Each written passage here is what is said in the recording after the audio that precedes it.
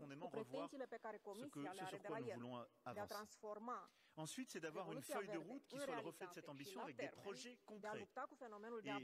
Et ce sommet va déboucher sur un texte, rurală, déclaration politique et une liste de projets. Je pense que la présidente de la Commission y reviendra et je remercie la mobilisation de l'ensemble des Thank services. you very much. Mais Now, on au moins behalf of the 150 milliards d'euros d'investissement sur 7 European ans et des projets très concrets qui vont permettre aussi the de, réinventer la relation, de construire des projets entre Tallinn et Lomé, entre Athènes et Kigali, entre Bucarest et Abidjan. Ačiū une vraie komisarė, Et enfin, sur les sept tables rondes que nous allons tenir, e, des réponses concrètes žinia, à quelques-uns des défis que le président Macky. Sall a évoqués. La première sur le financement de la croissance, où nous devons tenir nos engagements. Celui d'être au rendez-vous de l'émission de ces droits de tirage spéciaux, mais d'accepter de réallouer l'équivalent de 20% Tai de droits de tirage spéciaux, soit en réallouant ces derniers 10 procentų et en trouvant les mécanismes financiers pour praeitam que laikotarpiui. il y ait le soutien et le levier des banques régionales africaines, 10 soit en le trouvant sur le, le mode budgétaire. Le deuxième sur le climat, la transition énergétique, le numérique, les transports, en ayant des projets sur les infrastructures durables dont l'Afrique a besoin. Ça a été rappelé. Il y a dans nos travaux, je crois, plusieurs projets qui sont en train d'aboutir. Et nous devons mettre les financements et derrière des, les délais, la réalité de ces projets pour la jeunesse africaine. Et des projets très concrets comme celui de Constellation européenne qui a été présenté par la Commission il y a quelques jours, qui est un vrai projet Nord-Sud. et qui, en déployant une constellation qui n'existe pas aujourd'hui pour l'Europe, va permettre d'offrir de la connectivité à tout le continent africain, negamina qui est absolument indispensable. Parce que s'il n'y a pas de connectivité, il n'y aura pas la possibilité de déployer sur beaucoup de domaines ce que nous sommes en train de faire pour nous-mêmes et des vraies coopérations. Troisième sera sur la paix, la sécurité et la gouvernance, où là, nous devons parachever ce que nous sommes en train de faire avec le Sahel et le Golfe de Guinée, comme nous l'avons euh, annoncé ce matin, mais nous devons aussi aider à bâtir des solutions nouvelles. Le Rwanda, en lien avec la SADC, a su apporter une réponse inédite, par exemple, pour la situation au Mozambique. Il est important que nous soyons au rendez-vous du financement de telles opérations, de la promotion de ces opérations, et qu'on arrive à convaincre les autres nations au sein des Nations Unies d'accompagner ce mouvement. Quatrième session sur le soutien au secteur privé et l'intégration économique, nous devons, comme ça a été dit, je pense que la proposition du président Macky Sall est essentielle, aider à réduire le risque des économies africaines pour développer plus rapidement les projets, mais aider le secteur privé à investir bien plus massivement sur des projets très concrets. Il y a une jeunesse, il y a des potentiels de développement, il nous faut maintenant attirer les capitaux privés pour qu'ils s'y déploient et puissent fertiliser et sortir bien souvent de l'informel beaucoup de projets pour les amener dans l'économie formelle et, le leur plein déploiement. Le cinquième session sera sur les systèmes de santé et les vaccins. Ça a été dit par le président. Nous avons un défi. L'Europe est le continent qui a le plus donné de vaccins à l'Afrique, qui a le plus aidé et accompagné. L'Europe a été le continent qui est devenu maintenant le premier, le premier espace de production, tout en restant depuis le début et même au pic de la crise le plus ouvert. Nous n'avons jamais mis d'interdiction à l'export et nous avons toujours aidé. Plus de 50% des vaccins produits en Europe ont été ou donnés ou exportés. Le défi, c'est maintenant la production.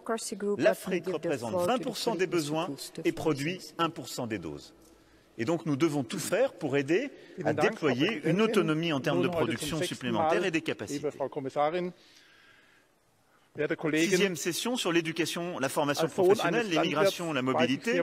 Nous aurons beaucoup de défis, je vais simplement en citer deux. Pour réussir ces défis que j'évoquais, le continent africain a besoin qu'on l'aide à développer des formations supérieures, de la formation professionnelle, de l'apprentissage, c'est-à-dire former sa jeunesse pour bâtir les projets que le continent a pour lui-même. Bien trop souvent, nous, nous avons construit une relation où on explique aux jeunesses des pays africains que l'accès aux études supérieures se fera ailleurs. Notre devoir est de bâtir des projets très concrets permettant ces formations. Et sur les mobilités, nous devons avoir une vraie alliance de partenaires équitables qui consiste aussi à nous battre ensemble contre les réseaux de passeurs clandestins qui se jouent de cette misère et pour avoir des politiques de retour vers le pays d'origine pour celles et ceux qui ne participent ni aux procédures de protection dans le cadre de l'asile, ni à une migration économique choisie. Et enfin, sur l'agriculture et le développement durable, nous aurons à parachever des projets concrets comme celui de la Grande Muraille Verte, qui sont des projets de développement essentiels au continent africain. Tout ça dessine en creux et nous aurons à y travailler, à parachever nos travaux, la base d'une alliance nouvelle. Et à travers ces projets et ces sessions, un début de réponse aux défis et aux chocs que j'évoquais a un Et je considère que pour nos générations, c'est une responsabilité, un devoir Thanks very une much, chance um, absolument President. And I think the question does Nous n'avons pas correctly d'autre choix pinpoint que one of the key celui d'avoir reasons for the l'énergie de rise mener in ces commodity projets and input à leur terme, prices in the d'apporter des agricultural réponses sector à vos interpellations, Président Macky à l'instant, vous qui êtes président du Sénégal, de l'Union africaine et qui, en plus, of ajouté à course, cela is very clear. le triomphe à la Coupe d'Afrique 2. Yes, we've had des Nations. MEP after Il nous faudra MEP avoir la même vigueur que les Lions de Teranga pour ensemble faire de ce sommet un succès et surtout bâtir cette alliance pour nos jeunesses. the good sense to Je crois que engage c'est possible. En tout cas, c'est à nous de le faire durant ces deux jours. Merci I'm beaucoup. against fossil fuels, but until we can transition to renewables, well, Merci. then Nord Stream 2 Merci, is Monsieur a le far Président. better option than filthy It's a pleasure now to welcome the. President of the European Commission. La présidente de la Commission européenne nous fait l'honneur d'être parmi nous energy euh, et de présenter sa vision des futures relations entre of l'Europe et l'Afrique. EU-Russian Her Excellency Mrs. Ursula von der Leyen. basis and an end to NATO. And that's the reason dear President the of the European Council, crisis. Charles Michel, dear President of the African Union, Macky Sall, dear President uh, Emmanuel Macron, Mr. Chairman of the African Union, Moussa Faki, fellow leaders, excellencies, ladies and gentlemen. It's very good to be here with you interest. In my very first speech, when I came into office as, as President of the European Commission, interest, I emphasized that Africa would be the key partner in building the world we want to live in. And the Let very first trip abroad Flanagan. of the new the Commission, the College of Commissioners, was to visit the African Union. Musafaki, you remember, in Addis uh, Ababa. Uh, thank you very much. Just And reading since then, the text, we had many uh, on exchanges. this, My latest one with you, the Macky EU's Sall, food supply in Senegal as President of the African people in Union. the EU with high And I quality summarize, we all But as share with the everything, the same devil is in vision. the detail. In Europe, We want to create import stability, more calories than we export prosperity to for the our people. And of course, for that, we need this economic and social dynamism. Unnecessarily exposed and this summit is the perfect the opportunity to, to, discuss how Ireland, we are going to work together, which also claims to how we are world, making our joint ambitions we import our main food a reality. Carrots, potatoes, and wheat, I want to talk about investment. The value Solid, of Ireland's food energy net investment. importing calories has I want at to talk times about exceeded the equivalent Gateway. of the calorie intake of two Global and a Gateway half is a strategy people. for investment in We can infrastructure. feed the and in fight, we can't even feed the type of livestock most that we precious produce. investment so you can import do is the investment in There's people. talk, and that's all it is. We want investments proteins in in Europe. quality Only infrastructure, last week, I noticed another connecting in people and goods and services. to dairy. A dairy farm We want a values-based approach. protein. What could go We wrong? offer transparency We've also created a system and good governance. those that produce the food the former speech- speakers mentioned all these values we share together. and sell it take Because we want to turn Even Global that, Gateway in a trusted Even brand then, they move around these the world. companies to places like Luxembourg Global Gateway will muster Europe's power to, to unlock in, unprecedented levels of investment, system. not only public, but also private Glandia. capital. The system is broken. We can expect a package though, of at least 150 billion euros for Africa for the next seven years. this is the first package under our Global Gateway strategy. and now we remarks. need you to tell Thank us you, President. what the needs members. are I really appreciate this and what the needs for the best for the people in this. House on the challenges for our With this new package, we want to in catalyse of investments in three surge. categories. The prevention of The first, and the of response course, is infrastructure. and negative impacts of the And they are the top input priority. price surge on is consumers, energy. agriculture and the food sector Energy, the pathway to renewable solutions. energy, The Commission and, and of course the states have several transition towards in renewable our energy. respective toolboxes. And Because we all know firsthand monitor that sustained economic development commodity hinges and food on prices in reliable the access to months. I energy. thank you. Africa has solar, wind and hydropower in abundance. This debate is closed. So let's build and on the that. sitting is suspended Let's for a few invest minutes. in global Uh, gateway it will projects, for example, to build with the together green announcement of the hydrogen. of today's second And let's discuss session. the Thank you very transition, how to get there. Macky Sall, we have been discussing it last week in Senegal. Indeed, the transition from the status quo today to a world where we have these renewable energies will need a lot of, is a lot of challenge for us, but we are able to make it together. Or the investments for electricity, interconnections, and energy access. People need access to electricity. And the numbers you are telling us, Macky about 600 million people without access to electricity are a real challenge. But together we can make the difference. We need to invest in transport corridors like roads and railways and waterways. It is the connection of energy, electricity and transport that opens, wide opens the door to the African free trade area. Or take the digital transition. This is where the new model of economic product productivity lies. In Dakar, I met young entrepreneurs who do not need any smart business ideas anymore because they have them in abundance. That's fascinating to listen to them. But what they need is access, access to the internet to develop their brilliant ideas. That's all they want, access to the internet. And thus, we want to focus on connecting Europe and Africa via submarine cables and Africa's regions via terrestrial cables. And also satellite communication to indeed, this covers both our continents, to indeed bring high-performance broadband to the remote regions. And this is what young entrepreneurs need. Combined with, of course, access to capital, they have the passion, they have the ideas, they have the will to succeed. They need investment in connectivity and in skills, and investments in micro, small and small, uh, medium enterprises. Good afternoon. Thus, it's good to be here. With Global Gateway, the we will African Union and the European Union are vocation connected uh, in many ways. training.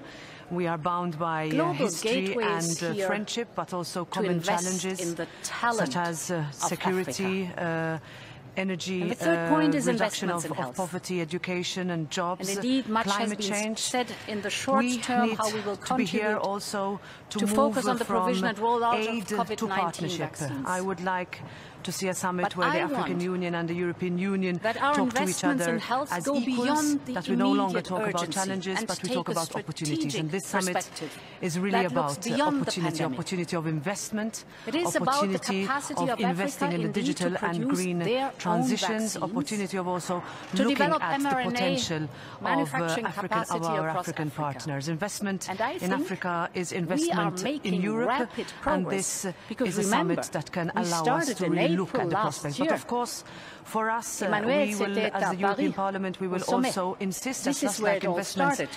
In Europe, uh, these investments are also based on and founded on democracy, on human this rights, year? on rule of law, Last so that the value really the is felt by all uh, citizens, which will be one of the new for us, it is important that we have uh, the fundamental principles the that are protected. We want co-ownership, we want investment in of the private and sector, parallel, and we will continue to make sure that that investment is done and is done started. now. We look And now forward we very much to to this summit. I look forward to the discussions that we will, in Rwanda and we will have, uh, and very much uh, looking forward Last also to participating in the debates that we'll have with the partners. Dakar, which will be one of the new vaccine production sites. Yesterday, the pilot production Yes, uh, facilities I were have already uh, stated that uh, fascist salutes And in are uh, parallel, unacceptable we are uh, supporting in uh, the this World day Health and Organization to set up a anywhere. technology transfer Uh, this kind of gestures should be committed to the darkest chapters of our history, and that should be staying there. so I have today initiated a sanctions procedure with regard to the incident that happened yesterday in the European Parliament, To turn and uh, our uh, through the different processes that will now be taken as usually is taken in this particular situation. Together we share our priorities. Now you have to tell us how we get there. Concerning the green transition, what is it what you envisage? Or for the digital decade, what is the infrastructure needed?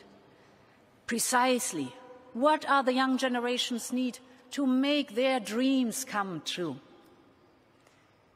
We all know the very beautiful African proverb that says, if you want to go fast, go alone. If you want to go far, go together. Let's embark on that journey together. Today's summit is our first milestone. I cherish the vision of two continents working hand in hand to improve the world we live in. Thank you very much.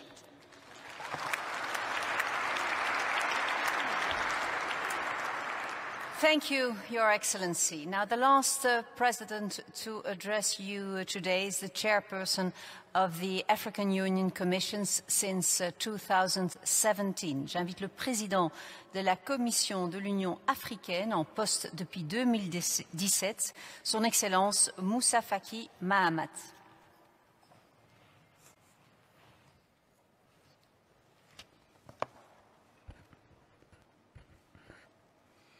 Mesdames, Messieurs les chefs d'État et de gouvernement, Monsieur le Président du Conseil européen, Madame la Présidente de la Commission européenne, Mesdames, Messieurs,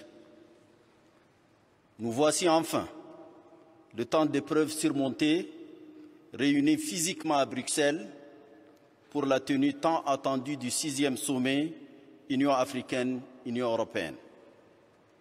Nul doute que la chaleur des retrouvailles va irriguer d'une nouvelle énergie notre belle amitié, sculptée parfois dans la douleur, mais aussi dans le triple creuset de l'histoire, de la géographie et du destin de nos peuples.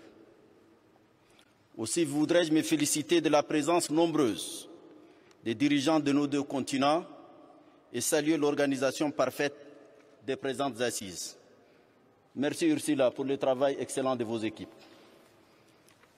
Excellences, Mesdames et Messieurs, la survenance de la Covid-19, plus de deux années déjà, a profondément bouleversé les certitudes et failli instaurer des doutes graves sur le sort de notre humanité. Ces valeurs de solidarité, de générosité, voire sur l'existence pérenne de la civilisation universelle d'aujourd'hui. Rassuré par les hypothèses de croissance optimistes, l'Afrique poursuivait alors, à la faveur d'efforts endogènes combinés à des facteurs exogènes favorables, l'élan de sa dynamique ascendante dans le cadre de la mise en œuvre ordonnée et progressive des programmes d'intégration régionale profondément inspirés de l'agenda 2063. Brusquement, les signaux du desserrement des contraintes qui fondaient une relative foi en l'avenir se sont éteints. Sont alors remontées en surface les fragilités structurelles. Bien sûr, la Covid-19 a noirci les tableaux, amplifié les peurs et perturbé les circuits et réseaux des échanges internationaux dont le continent demeure hélas largement tributaire.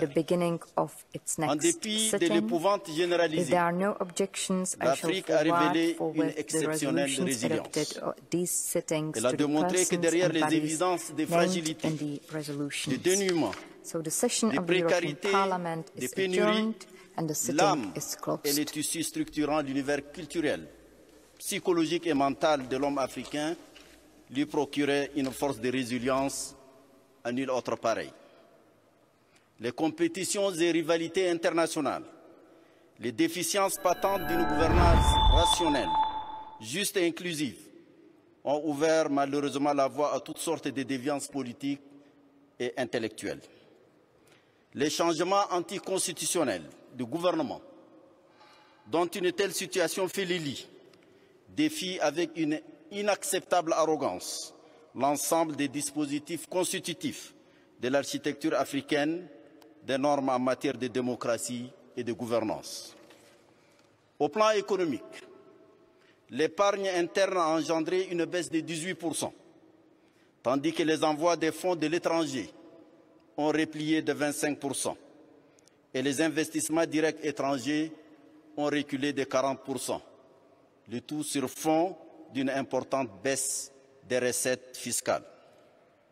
La raréfaction des financements en dépit de leur immense disponibilité potentielle renforce l'obsédante question de la reprise économique.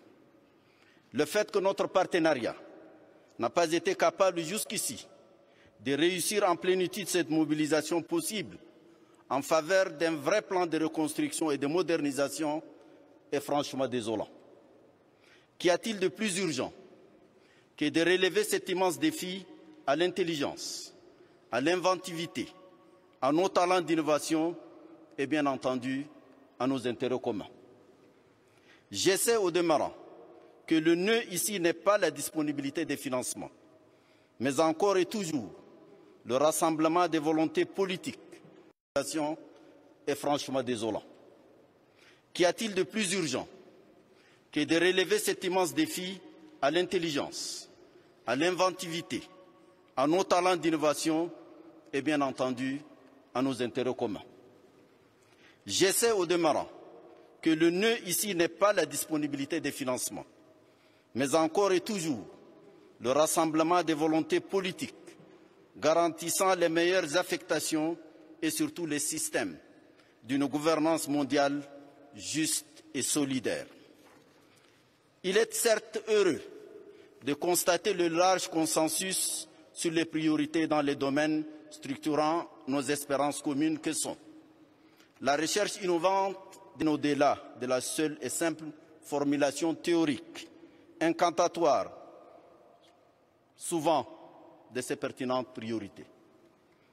Bien que cette convergence euro-africaine déclaratoire constitue assurément un indicateur de cohérence dans une commune vision stratégique, elle pêche cependant.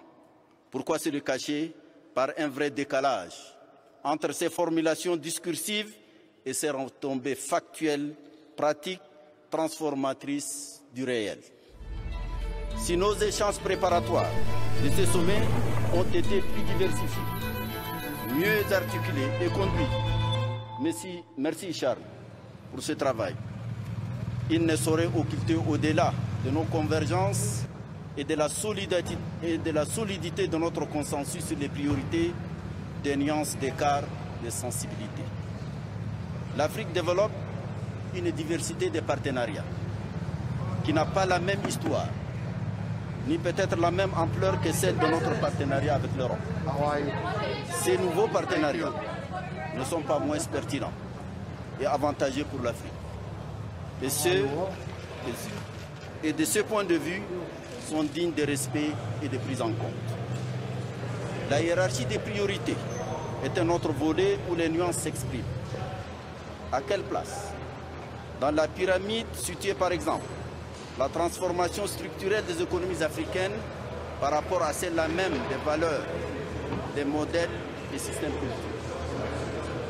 Quelle place accorder à la formation de jeunes Africains et à leur mobilité pour la connaissance Comment occulter les nuances qui existent sur les problématiques de la transition écologique et des énergies fossiles? fossiles. Monsieur le Président du Conseil de l'Union européenne, Monsieur le Président de l'Union européenne, de l'Union africaine, Mesdames, Messieurs, se dégage du parcours jusqu'ici accompli par le partenariat Union africaine-Union européenne une préoccupation sur le comment de la mise en œuvre efficace et efficiente des différentes activités figurant dans les plans d'action. La lisibilité du partenariat ne pouvant être reflétée que dans des résultats tangibles. Ce souci du comment interpelle notre commune réflexion. À ce titre, l'Union africaine, pour sa part, voudrait partager son approche sur cet important aspect. Deux paramètres pourraient être conjointement pris en compte, à savoir d'une part les mécanismes de financement et d'autre part les mécanismes de suivi et d'évaluation des projets et programmes. Les mécanismes classiques ont clairement affiché leurs limites. Nos deux unions sont sollicitées pour en inventer de nouveaux, plus souples, plus efficaces, plus producteurs de résultats. Elles devront surtout coopérer plus efficacement dans la lutte contre les flux financiers illicites et rapatrier les fonds issus de tels flux vers l'Afrique. La bonne pratique d'évaluation périodique et régulière mérite d'être rapidement prise en compte car elle offre le bénéfice de faciliter les ajustements conjoncturels requis et d'envisager l'avenir avec plus d'assurance et de maîtrise. De grands espoirs sont soulevés aujourd'hui par notre sommet. Les attentes qu'il suscite au sein des gouvernements, des élites et des peuples des deux continents sont réelles. Sera-t-il, par ces décisions innovantes et courageuses, ce sommet d'un partenariat rénové, revitalisé, nourri d'une âme nouvelle, de pragmatisme, créateur de projets concrets, structurants et transformateurs, dont l'espérance a marqué ses travaux Saura-t-il refonder les relations Afrique-Europe uh, dispensation where we can make our own vaccines, and that to us is very important. mondiale, vertigineuse, no, où les exigences de rationalité, de technicité, de transparence, de redevabilité, d'égalité well, it means mutual respect, mutual recognition of what we can. All bring to the party. La réponse uh, investment economies, infrastructure est and in many ways for former colonizers to give back to the country. Thank you so much.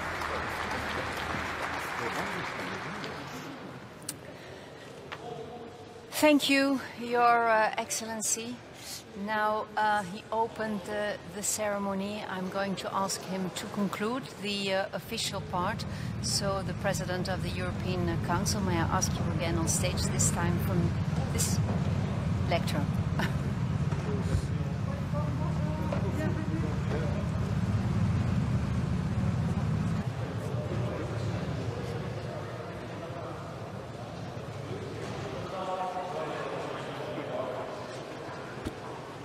J'ai le plaisir de déclarer le sommet ouvert.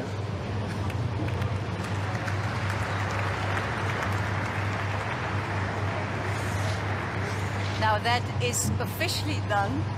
I would like to kindly invite you all, uh, the presidents here on stage, to take your seat uh, in the audience so you as well can enjoy the best view of what is going to happen here on uh, stage. It is a, a musical performance, donc je vous invite à rejoindre vos places afin de pouvoir euh, profiter pleinement de ce spectacle, une performance musicale qui va avoir lieu euh, sur cette scène. So you, can all take your seat. I can announce them here uh, on stage. Donc nous, avons préparé une surprise, une surprise musicale, euh, entamer ce sommet. Euh, C'est une expérience afro-européenne. It's an uh, Afro-European experiment in harmony with uh, the spirit uh, of the summit. Uh, it's about two continents, uh, 10 different nationalities, 12 musicians, and you can see them coming on here on stage. And while they get ready and while they plug in, I can tell you a little bit more about their uh, philosophy. Um, and also how it all started. Now, it's quite amazing because this collective was created in 2019 in only 12 days. Can you imagine that? 12 days. Now I'm asking you, what does that mean if you can gather 12 musicians from two countries, from two continents, from 10 different uh, nationalities? They were complete strangers, I've been told, total strangers. They didn't even speak the same language, but they had one universal language, and that is, of course, music. So music brings people together. They called Maisha, which means life, if I understood well, and it embodies the people dimension of the European Union and the African Union. So please put your hands together and enjoy this musical experience. Your Excellencies, ladies and gentlemen, Maisha.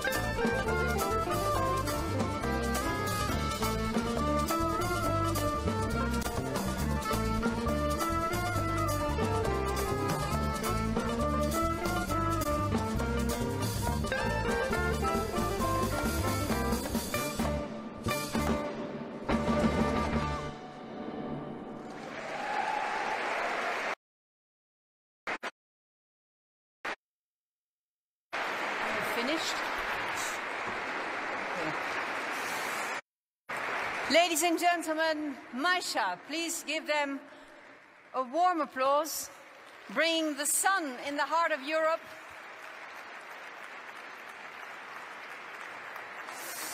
Now, we have uh, the honor to welcome on the stage uh, a singer who really needs no introduction. He's a, a, superstar, a Senegalese superstar, and no, he's not a football player.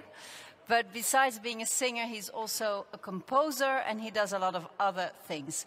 And I suggest that we give him a warm applause to welcome on stage Youssou N'Dour. Thank you.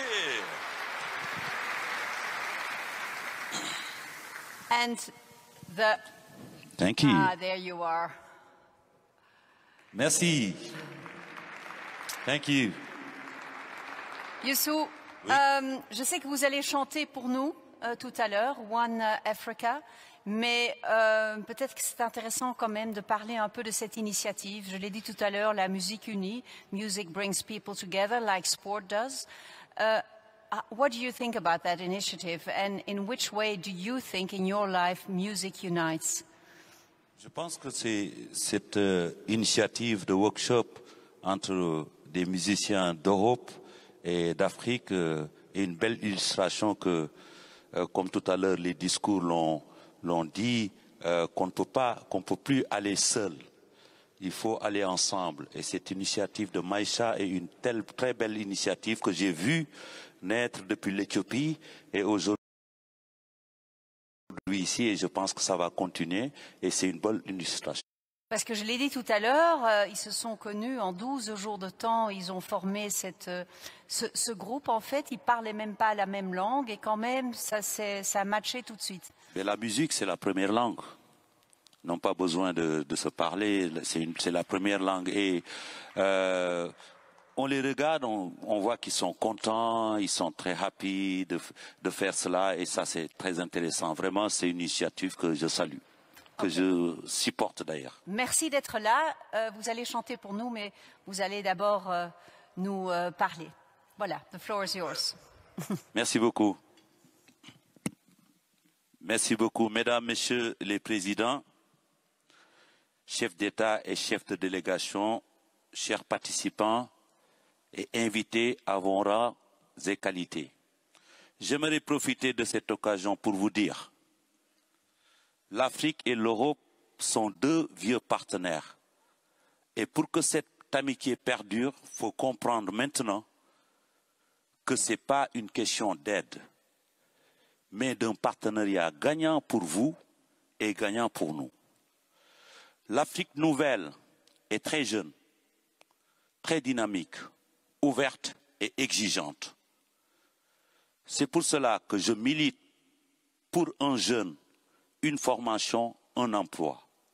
Croyez-moi, si tout jeune Africain a un savoir-faire, personne ne cherchera à quitter partenariat gagnant pour vous et gagnant pour nous. Pour nous. L'Afrique nouvelle est très jeune, très dynamique, ouverte et exigeante. C'est pour cela que je milite pour un jeune, une formation, un emploi. Croyez-moi, si tout jeune Africain a un savoir-faire, personne ne cherchera à quitter l'Afrique. Je milite pour plus d'investissements dans les industries créatives. Je milite également pour l'industrialisation de notre continent avec un grand...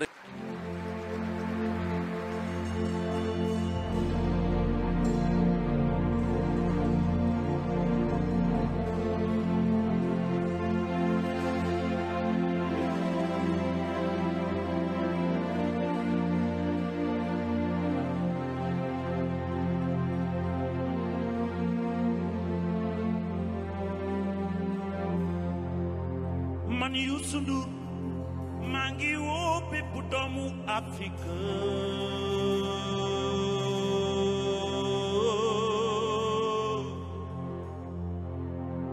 Nyo boku xalaat boku gis-gis boku yéene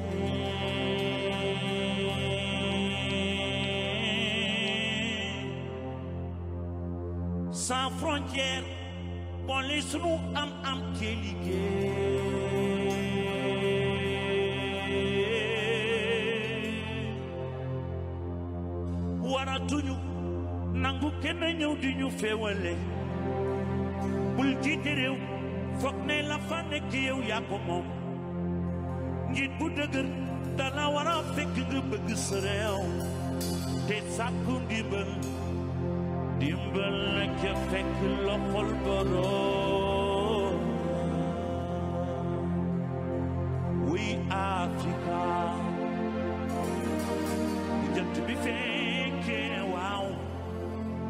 la fekk joo ak sa jumtukaay bëccëg bi gaaw na ñett du bëre.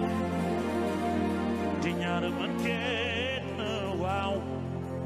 yoon wi sore na te na nañu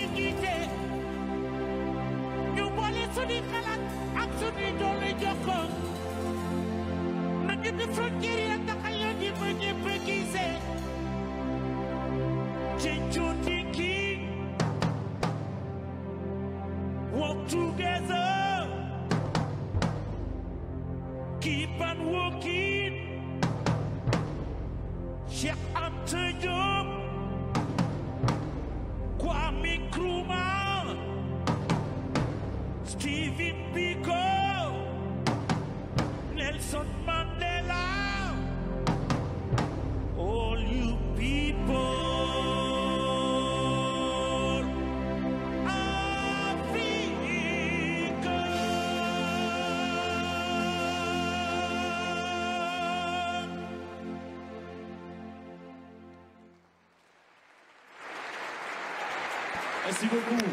Thank you. Thank you so much. Ibu Baye. Thank you. Thank you, uh, Yusu Endor. Thank you to all the musicians for this uh, beautiful music that will, uh, of course, inspire all of us in uh, the next uh, two days. Now, don't move yet, because, of course, we want to take a family picture. And, um, you know, because of the COVID uh, measures, we have to stay uh, where you have to stay where you are, so we cannot all come together.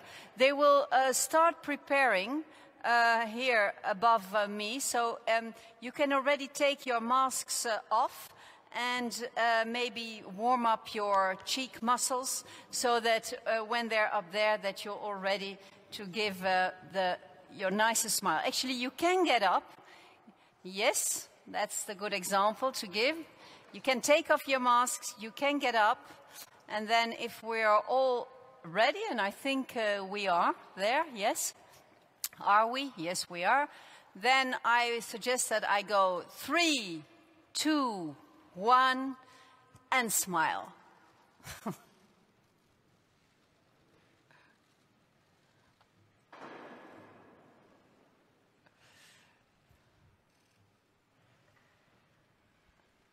That's very nice. A very nice picture from here.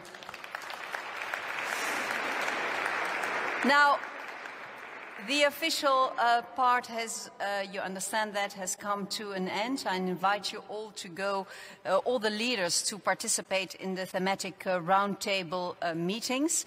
I would like to uh, thank you again for your uh, presence, of course, and for your attention. Je vous remercie de votre présence et de votre attention, and I wish you a very successful summit. Thank you very much.